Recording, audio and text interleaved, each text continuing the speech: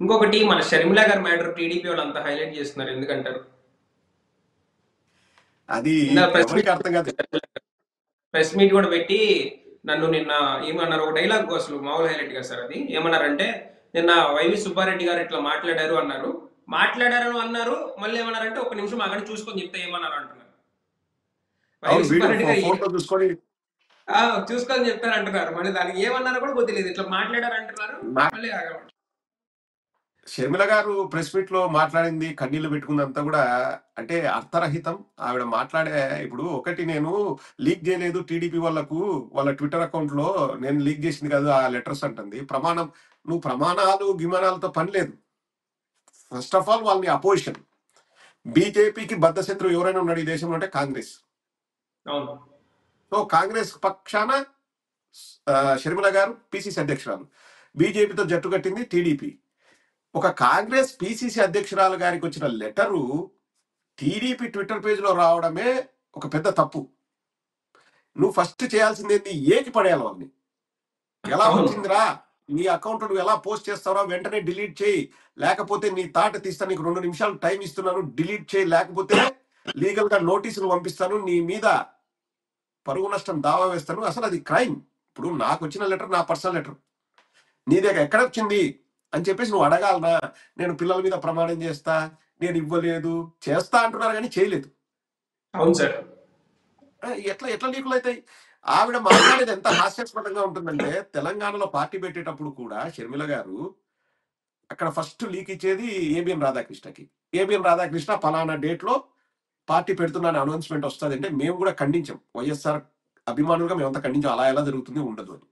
ఆ టైంకే బయటకు వచ్చేసి నేను పార్టీ పెడుతున్నాను అన్నారు. నెక్స్ట్ రాధాకృష్ణ దగ్గర నుంచి మళ్ళా కొత్త లీగ్ వస్తుంది. ఆ పార్టీ పేరు పలానా పార్టీ ఉండబోతుంది. ఈ పేరు అనౌన్స్మెంట్ ఆ రోజు పెడతారు. అంటే యాజ్ ఇట్ ఈస్గా ఆ రోజు అనౌన్స్మెంట్ పెడతారు. మళ్ళీ నెక్స్ట్ ఆ పార్టీ జెండా ఈ కలర్ ఉంటుంది అని చెప్పేసి ఫస్ట్ ఏబిఎన్ రాధాకృష్ణలో లీక్ వస్తుంది. సేమ్ టు సేమ్ అదే పార్టీ జెండా నువ్వు పెడతావు. విధి విధానాలు ఇవి అని ఏబిఎన్లో వస్తాయి. నెక్స్ట్ నువ్వు అవే చెప్తావు. ఇంకా నిన్ను ఎట్లా నమ్మాలి? ఇది ఫస్ట్ ఏబిఎన్లో రాయ బేరమో కాళ్ళ బేరమో ఏదో అని చెప్పేసి ఒక ఒక హెడ్డింగ్ పెట్టి రాశాడు జగన్మోహన్ రెడ్డి గారు కళ్ళ బేరానికి వచ్చాడని రాసి అంటే జనాలకు ఒక టీజర్ లాగా ఇది పెట్టేసి నెక్స్ట్ రోజు కాళ్ళ బేరం కుదరలేదు కాబట్టి కేసు వేసినాడు అని చెప్పడానికి ఇదంతా డ్రామా సిరీస్ అది మనకు తెలిసిపోద్ది. ఇప్పుడు నువ్వు ఆంధ్రజ్యోతిని ఏ మాటను తెలుగుదేశాన్ని ఏ మాటను వచ్చేసి జగన్మోహన్ రెడ్డి గారు తెలుగుదేశానికి చెప్పారంట లీకులు ఇచ్చారంట టీడీపీకి. జగన్మోహన్ రెడ్డి గారు టీడీపీకి లీకులు ఇస్తారండి అంటే ఆవిడ మైండ్ సెట్ ఎట్లుందో మనం ఆలోచన చేయొచ్చు. ఆవిడ సొంత ఆలోచనల కంటే పక్కన ఎవరో వచ్చేసి రుద్దుతున్నారు. ఈరోజు పెద్ద ట్విస్ట్ ఏం మాట అంటుందంటే జగన్మోహన్ రెడ్డి గారు బెయిల్ రద్దు అవుతుంది కాబట్టి జగన్మోహన్ రెడ్డి గారు మా తల్లిని కోర్టుకి ఇచ్చాడు కదా అంటే జగన్మోహన్ రెడ్డి గారికి అది లాభమే కదా లాభం చేకూరుతుందంటే కోర్టుకి ఇస్తాడంటే తల్లి ట్విస్ట్ చేయక పదాలు లాభం కాదు జగన్మోహన్ రెడ్డి గారికి నాకు నష్టం తల్లో అని చెప్పేసి వీళ్ళకి చెబితే చెప్పినా పెడచెవిన పెట్టి ట్రాన్స్ఫర్లు చేసుకొని వీళ్ళు ఇష్టారీతిన చేస్తే ఎన్సిటిఎల్కి వెళ్ళి ఎన్సిఎల్టీకి వెళ్ళి నేషనల్ కంపెనీ లా ట్రైబ్యునల్కి వెళ్ళి బాబు నా ప్రమేయం లేకోకుండా ట్రాన్స్ఫర్లు జరిగాయి. నేను వద్దని చెప్పాను. రేపొద్దున ఏదైనా నాకు లీగల్ కాన్సిక్వెన్సెస్ నేను ఫేస్ చేయడానికి నేను రెడీగా లేను. నేను మా చెల్లికి చెబితే వాళ్ళ అమ్మ ప్రమేయం ఏం లేదు విజయమ్మ గారి ప్రమేయం లేదు. విజయమ్మ గారికి కూడా తెలియకుండా షర్మిల గారు ట్రాన్స్ఫర్ చేశారు. విజయమ్మ గారి. పక్కన సంతకం పెట్టండి. సో నాకు ఇబ్బంది అవుతుంది అంటే అది జగన్మోహన్ రెడ్డి గారికి లాభం ఎట్లా అవుతుందండి ఇప్పుడు ఈ రోజు వచ్చి కూడా నువ్వు ప్రెస్ మీట్ పెట్టి మాటికి ఒకసారి మాటికి ముందు ఒకసారి వెనక ఒకసారి కోర్టుకు ఈడ్చారు ఈడ్చారు అంటుంటే అది నువ్వు చెప్పేది జగన్మోహన్ రెడ్డి గారికి లాభం చేకూర్చడానికా జగన్మోహన్ రెడ్డి గారికి నష్టం చేకూర్చడానికి? అసలు జగన్మోహన్ రెడ్డి గారు కేసు కూడా కదా సార్ జస్ట్ అప్లికేషన్ ఫైల్ చేశారు. ఆవిడ కేసు కేసు కాదు అది కేసు. కాదు అది ఒక పిటిషన్ నేను అంటే జగన్మోహన్ రెడ్డి గారు చెప్పింది ఏంటి నాకు తెలియకోకుండా ట్రాన్స్ఫర్లు జరిగాయి. ఎందుకంటే కోర్టులో ఈడీ అటాచ్మెంట్లో ఆ ప్రాపర్టీస్ ఉన్నాయి. నేను చేశాను అనుకుంటారేమో నాకు సంబంధం లేదు అని చెప్పాడు. ఇప్పుడు. మేము చేశాము నువ్వెందుకు వెళ్ళావు అన్నట్లుంది. అంటే నేను ఏదైనా చేస్తా నేను రోడ్డు రోడ్డు మీదకి వచ్చేసి నేను ఇష్టారీతిన తిడతా ఏ జగన్ రెడ్డి అంట నా ఉద్దేశాలు వేరు నాకు నీ మీద అక్కసు ఉంది కానీ నువ్వు నాకు ఇవ్వాల్సిన డబ్బులంతా నాకు ఇవ్వాలి. ఎందుకంటే రాజశేఖర రెడ్డి గారి మ్యాండేట్ మ్యాండేట్ మ్యాండేట్. అదొక్క పదం పట్టుకుంది అంతకంటే ఏం లేదు. ఇప్పుడు రాజశేఖర రెడ్డి గారి మ్యాండేట్ అనేది నీ ఒక్కదాంతో చెప్తే సరిపోదు కదా. ఎవరైనా. పిల్లలు వచ్చినప్పుడు మన వాళ్ళు వచ్చినప్పుడు నాకు అందరూ సమానమని అంటారు పెద్దలు. అదేమి నీకొక్కడికి మ్యాండేట్ చెప్పినట్టు కాదు కదా. ఇప్పుడు నువ్వు అంత మ్యాండేట్ మంకు పట్టు పట్టింటే రెండు వేల తొమ్మిదిలోనే డివైడ్ అవ్వాల్సింది. అవును సార్. ఐదేళ్ళు రాజశేఖర రెడ్డి గారు ముఖ్యమంత్రి ఉన్నప్పుడు జగన్మోహన్ రెడ్డి గారు ఒక్క రోజు కూడా అప్పుడు హైదరాబాద్కి వచ్చిన పాపన పోలేదు. అసలు రాలేదు జగన్మోహన్ రెడ్డి గారు. అక్కడ ఇంట్లో ఉండింది షర్మిల గారు. మీ భర్త ఎన్ని కంపెనీలు పెట్టినాడు? ఎన్ని కంపెనీలు పెట్టి మీ భర్త కూడా వృద్ధి చెందొచ్చు కదా. ఇప్పుడు ఆయన గార్డియన్ మాత్రమే జగన్మోహన్ రెడ్డి గారు అంటే జగన్మోహన్ రెడ్డి గారు గార్డియన్ కాదు జగన్మోహన్ రెడ్డి గారి ఆలోచనలు ఆ- కంపెనీస్ అన్ని వారు కష్టపడి వారు చేసి దాన్ని పైకి తీసుకొచ్చారు. నేను ప్రేయర్స్ చేసుకుంటాను నేను ప్రేయర్స్ చేసుకుంటా స్టేజ్ల పైన డాన్సులు వేస్తాను మా భర్త అదే ఫీల్డ్లో ఉంటాడు కానీ మేము ఆస్తుల్లో మాత్రం సగం వాటా ఇవ్వాలా? ఎంత పెద్దగా పెరిగిన తర్వాత నాకు వాటా ఇవ్వాలా అంటే ఎంతవరకు సమంజసం ఇప్పుడు నేను. అనేది సరే షర్మిల గారు పాదయాత్ర చేశారు. షర్మిల గారు రెండు ఎలక్షన్లో క్యాంపెయినింగ్ చేశారు. అన్ని ఫైన్. ఆ టైంలో మీ భర్త ఏం చేశారని నేను అడుగుతున్నా. మీ భర్త. ఎందుకు అట్లే వ్యాపారాల్ని వృద్ధి చేసుకోలేకపోయాడు? మీ భర్త ఎందుకు జగన్మోహన్ రెడ్డి గారు ఎంతైతే సంపాదించారో మీ భర్త ఎందుకు అంత సంపాదించలేదు? ఓకే జగన్మోహన్ రెడ్డి కష్టపడుతున్నాడు కదా ఆయన సంపాదిస్తాడు కదా నేను కూర్చొని ఉంటాను మీ భర్త అనుకున్నాడా? మీ భర్త సంపాదించవచ్చు కదా. ఇప్పుడు రాజశేఖర రెడ్డి గారు ఏమన్నారు? నాకు కొడుకు కంటే కూతురు ఎక్కువ అని చెప్పేసి అన్నారు. నాలో నాతో వైఎస్ఆర్ పుస్తకంలో మా అమ్మ కూడా రాసిందని షర్మిల గారు అన్నారు. సరే మీరే ఎక్కువ. మీ భర్త ఏదైనా నేను కంపెనీ పెడతాను ఇంకోటి అంటే రాజశేఖర రెడ్డి గారు కాదంటారు కదా? అవును సార్. ఖచ్చితంగా మరి ఎందుకు పెట్టలేదు? ఈ రోజు మీరు వచ్చేసి బీద ఏడుపులు ఏడవడం ఎందుకు? నా కూతురికి నా కొడుకు అన్యాయం చేస్తున్నారని మీ ఆయన ఏం సంపాదించాడో అది చెప్పొచ్చు కదా. పోనీ మీ ఆయన సంపాదించాడే అనుకుందాం. మీ ఆయన సంపాదించిందంటే జగన్మోహన్ రెడ్డి గారికి మీరు ఏమైనా ఇస్తారా? ఆవిడే క్లియర్గా తెలంగాణకు ఏం చెప్పింది? ఆడపిల్ల అని ఎందుకు అంటారంటే ఆడపిల్ల ఆడపిల్ల కాబట్టి ఈడపిల్ల కాదు కాబట్టి పెళ్ళైన తర్వాత ఇంకా ఇక్కడతో సంబంధం లేదు. ఆడపిల్ల నేను తెలంగాణలో పెళ్ళి చేసుకున్నా తెలంగాణలో పిల్లల్ని కన్నా తెలంగాణలో పిల్లల్ని పెంచా తెలంగాణలో ఉంటున్నా తెలంగాణ మట్టిలో కలుస్తా అని చెప్పేసి మట్టి పిసికి మరి చెప్పింది.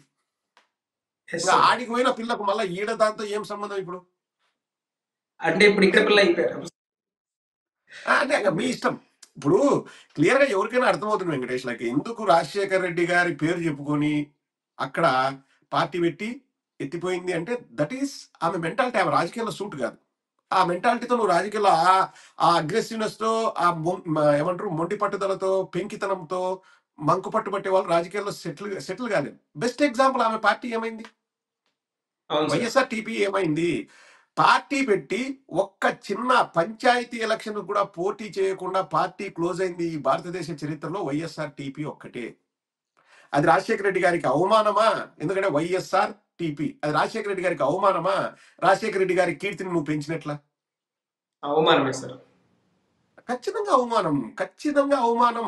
అక్కడ నువ్వు తగదనమ్మా అంటూ అక్కడ ఏదో పెట్టి ట్రై చేసి నువ్వు వల్ల కాక ఇప్పుడు రెండు వేల పద్నాలుగులో వైఎస్ఆర్ కాంగ్రెస్ పార్టీ కూడా ఓడిపోయింది. జగన్మోహన్ రెడ్డి గారు పార్టీ క్లోజ్ చేయలేదు కదా? మళ్ళా. పార్టీని ఐదేళ్ళు నడిపి ప్రజల్లో ఉండి తిరిగి ఎస్ మీరు కష్టపడినచ్చు నేను కాదన్ను. కార్యకర్తలు కష్టపడ్డారు కానీ నువ్వు ఈ రోజు వచ్చేసి నేను ఆ పార్టీ కష్టపడ్డా అని నువ్వే చెప్తున్నావు కదా? మరి ఆ పార్టీకి ఓటేయొద్దని చెప్తే లక్షల మంది కార్యకర్తలు నీలాగా డే వన్ నుంచి ఉన్న కార్యకర్తలు నష్టపోయారు. మరి నువ్వు చెప్పొచ్చా? కేవలం మీ అన్న మీద కోపంతో నువ్వు నిజంగా వైఎస్ఆర్ బిడ్డవైతే వైఎస్ఆర్ను నమ్ముకొని పార్టీ వైఎస్ఆర్ కాంగ్రెస్ పార్టీలో ఉన్న వాళ్ళు లక్షల కోట్లలో ఉన్నారు. వాళ్ళంతా ఈ రోజు నష్టపోయారు మేమోతో చెప్పిస్తావా నువ్వు? లాస్ట్ రోజు మేమోతో చెప్పిస్తావా? వైఎస్ఆర్ కాంగ్రెస్ పార్టీకి ఓటు వేయొద్దని చెప్తావా? ఎవరి పార్టీ అది? YSR Congress party. ఒక పక్క ఇంకొక పక్క మీరు ఆలోచించండి. జగన్మోహన్ రెడ్డి గారు ఏం తప్పు చేశారు? తండ్రి చెప్పిన సంబంధాన్ని చేసుకున్నారు కదా? ఇప్పుడు పెద్దలు కుదిర్చిన పెళ్ళే జగన్మోహన్ రెడ్డి గారిది. తండ్రి చెప్పిన సంబంధం చేశారు. తండ్రి ఎంపీగా పోటీ చేయమంటే రెండు వేల తొమ్మిదిలో పోటీ చేశారు వాళ్ళు డిస్కస్ చేసుకుంటారు జగనన్నకి ఇష్టం ఉందా లేదా అన్నా కానీ తండ్రి ప్రకారమే నడుచుకున్నాడు. ఓడిపోయిన తర్వాత ఐ మీన్ రాజశేఖర రెడ్డి గారు చనిపోయిన తర్వాత తండ్రి ఆశయాన్ని ముందుకు తీసుకెళ్తా అన్నారు. తండ్రి పేరు మీద పార్టీ పెట్టారు. ఎస్ సార్ గెలిచారు. తండ్రిలాగా పరిపాలన చేశారు. అండ్ ఎప్పుడో ఇరవై ఏళ్ళ క్రితం నీకు పెళ్ళైనా నేను నాన్నగారు ఉంటే ఎంత ఆస్తి ఇస్తానో నేను అంత ఇస్తాను అని చెప్పేసి సొంతంగా సంపాదించుకున్న ఆస్తుల్లో కూడా నేను నీకు వాటా ఇస్తా అన్నారు. ఇంకా అంతకంటే ఒక బ్రదరు ఒక సిస్టర్కి ఏం చేస్తారు? ఆ బహిరంగ లేఖలో ఏం చెప్తుందంటే ఒక నెలకే మారిపోయారు ముఖ్యమంత్రి. ముఖ్యమంత్రి అయిన తర్వాత ఆయన మారలేదు. మీరు చూసే మీ దృష్టి మారింది. హోదా ఆయనకేనా? పదవులన్నీ ఆయనకేనా? పలుకుబడి ఆయనకేనా? లేకపోతే ఇప్పుడు నాకు రావాలి కదా ఇప్పుడు సమాన హక్కు అంటది కదా ఆ రోజు కూడా నాకు కూడా రా- జగన్మోహన్ రెడ్డి గారికి ఎంతైతే మర్యాదలు వస్తాయో ఒక ముఖ్యమంత్రి నాకు అంతే కావాలని కోరుకుంది. ఇంకా రాకపోతే నా ప్రతాపం చూపిస్తాను. నేను రాజకీయాల్లోకి పోయి రాజశేఖర రెడ్డి బిడ్డగా నేను ప్రూవ్ చేసుకొని నేను ఆ హోదా పొందుతా అని పోయింది. ఏమైంది. ఇప్పుడు ఎవరైనా అన్న మీద కోపంతో పార్టీలు పెడతారా? అవి నీటి మీద. బుడగలు లాంటివి. తెలంగాణలో పేలింది పుట్టుకొని ఆ బుడగ. ఇప్పుడు ఎప్పుడెప్పుడు ఆంధ్రాలో పేలాలని చూస్తుంది. వచ్చింది.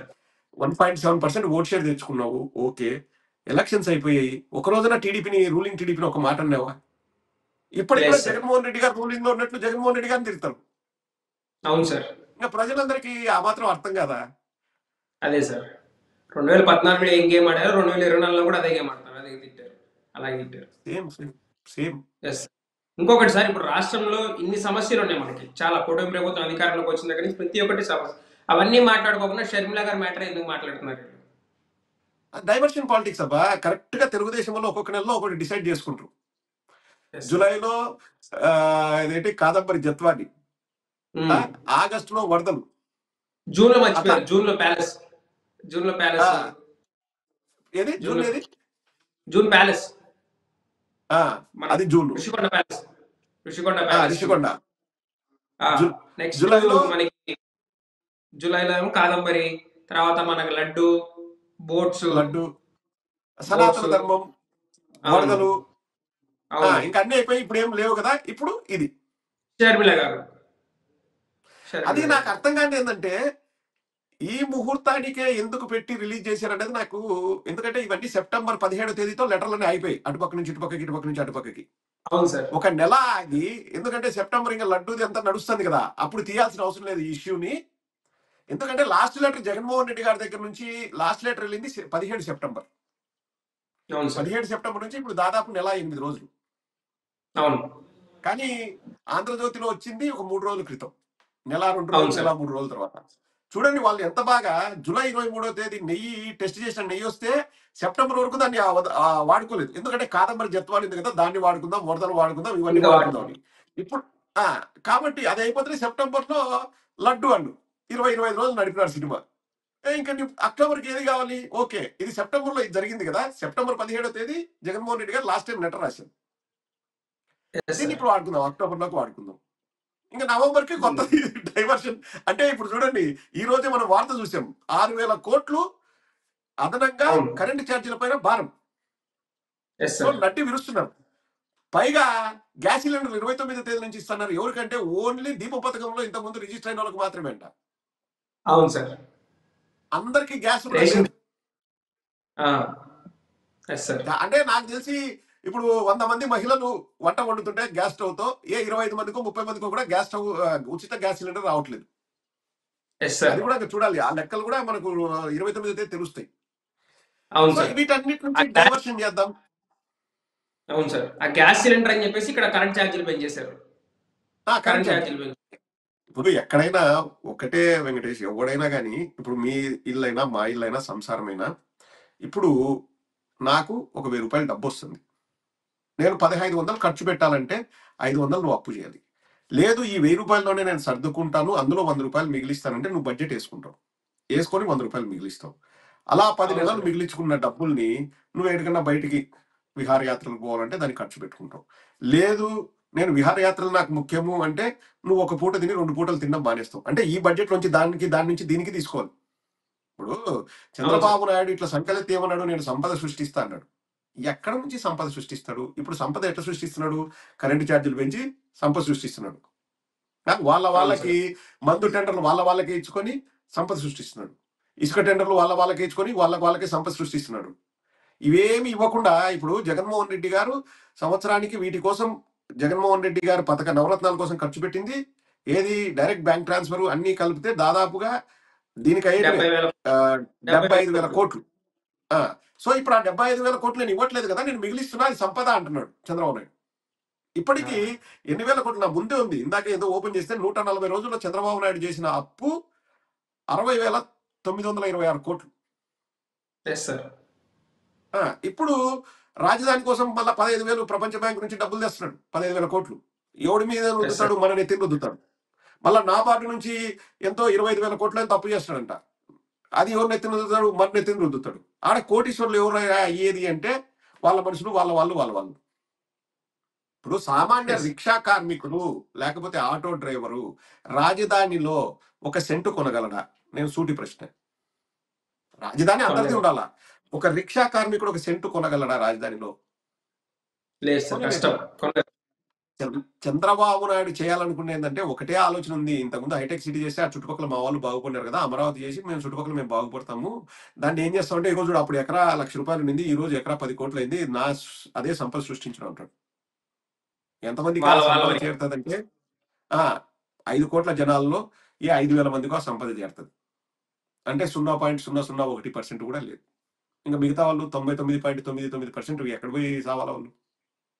అది ప్రతి ఒక్కటి కూడా డైవర్షన్ పాలిటిక్స్లో భాగంగానే చంద్రబాబు నాయుడు గారు ఫస్ట్ ఆంధ్రజ్యోతిలో లీకులు ఇప్పడము ఆంధ్రజ్యోతిలో రాపించడము. మేము నేను ఫస్ట్ రోజు చెప్పినప్పుడు వీడియో చేసి చెప్పిన ఇది ఇక్కడితో ఆగదు రేపు ఇంకొకటి వస్తుంది చూడండి వాళ్ళు ఏదైనా పెట్టినా మా దగ్గర అస్త్రాలన్నీ ఉన్నాయి మేము రెడీగా ఉంటాము బికాస్ నాకు తెలుసు. ఏం జరగబోతుందో నాకు తెలుసు. ఇది నెక్స్ట్ ఇట్లా అంటాడు నెక్స్ట్ కోర్టు కేసులు అయ్యి కూడా అంటారు తల్లి ఇవన్నీ నాకు తెలుసు. బికాస్ వాళ్ళు ఎక్కడెక్కడ ప్లాన్ చేస్తున్నారో మనకు కూడా లీకులు వస్తాయి. మనకేం రాకుండా ఏమి ఉండవు. మనకి ఇవన్నీ తెలుసు. మేము మేము ఆలోచించింది ఏంటంటే అప్పుడే వస్తుంది సెప్టెంబర్లోనే వస్తుంది అనుకున్నాం కానీ లడ్డు విషయాన్ని లేపినారు కాబట్టి అప్పటికి దాన్ని తొక్కిపెట్టారు. అవును. లడ్డు సినిమా ఆడుతుంది కదా ఇప్పుడు ఇప్పుడు ఇద్దరు స్టార్ హీరోలు సినిమాలు వస్తే వద్దులే నీ హీరో నువ్వు పోస్ట్ పోన్ చేసుకో నేను పోస్ట్ పోన్ సార్. చేసుకుంటా లేకపోతే సంక్రాంతికి వెళ్దాం ఉంటారు కదా. సేమ్ సేమ్ కాన్సెప్ట్ ఇది సేమ్ టు సేమ్ కాన్సెప్ట్ లేకపోతే పదిహేడవ తేదీ లెటర్ రాస్తే జగన్మోహన్ రెడ్డి గారు నేను ఎన్సి అనేది ఎన్సీఎల్టీకి వెళ్ళాను. ఇంకా నా వల్ల కాదంటే నువ్వు నెల ఐదు రోజుల తర్వాత ఆంధ్రజ్యోతికి లీక్ ఇచ్చి టీడీపీ వాళ్ళకి లీక్ ఇచ్చి వాడు ఇంకా టీడీపీ అడ్మిన్ గూట్లే కాడున్నాడు ట్విట్టర్ అడ్మిన్ వాడు టెన్త్ ఫెయిల్ వాడు. వాడు ఏం రాస్తాడంటే వాడికి సిగ్గుశరం లేదు. షర్మిల గారు ప్రమాణం చేస్తా అన్నారు కదా. ఏది? నేను లీక్ చేయలేదు టీడీపీకని. మరి ఇప్పుడు నువ్వు దమ్ముంటే నువ్వు సమాధానం చెప్పు. ఎవరు లీక్ చేశారో సమాధానం చెప్పాడు ఒరే పిచ్చోడా రాసింది నువ్వు రా నువ్వు చెప్పు అంతే కదా. అప్డేట్ చేసింది నువ్వు రా పనికి మాలోడా నువ్వు చెప్పు ఎట్లా లీక్ అయిందో. నీకు తెలియకుండా నువ్వు అప్డేట్ చేసావా? అదే అంటే ఎంత సిగ్గులేని మనుషులు చూడండి ఎంత సిగ్గులేని బతుకులు బతుకుతున్నారు. వాడు ట్వీట్ చేశాడు. నేను ఈ రోజు మార్నింగ్ చూసి షాక్. అయ్యా నన్ను ఎప్పుడో బ్లాక్ చేశాడు వేరే వాడు పెట్టాడు. అన్న వాడు ఎట్లా ట్వీట్ పెట్టాడు చూడంటే షర్మిల గారు పిల్లల మీద ప్రమాణం చేస్తా అనింది ఆవిడ లీక్ చేయలేదంట. మరి ఎవరు లీక్ చేశారు నువ్వు సమాధానం చెప్పు జగన్ అంట నీ అప్డేట్ చేసుకుంది నీది అంటే వాళ్ళకి ఎట్లుందంటే దాని వల్ల ఒక పెద్ద అప్డేట్ లాగా పెట్టాడు తెలుగుదేశం వల్ల తిట్టాడు తెలుసా వాడిని? అరే బిర్యానీ పెడతావు అనుకుంటే వైట్ రైస్ పెట్టి పంపించినవరా? కూరలు కూడా లేకోకుండా. ఇది ఒక అప్డేట్ అది ఒక సంచలనం మారారి నీ బతుకి నువ్వు. వాడు టెన్త్ ఫెయిల్. ఆ అడ్మిన్ గాడు జేటీడీపీ అడ్మిన్ గాడు ట్విట్టర్లో టెన్త్ ఫెయిల్.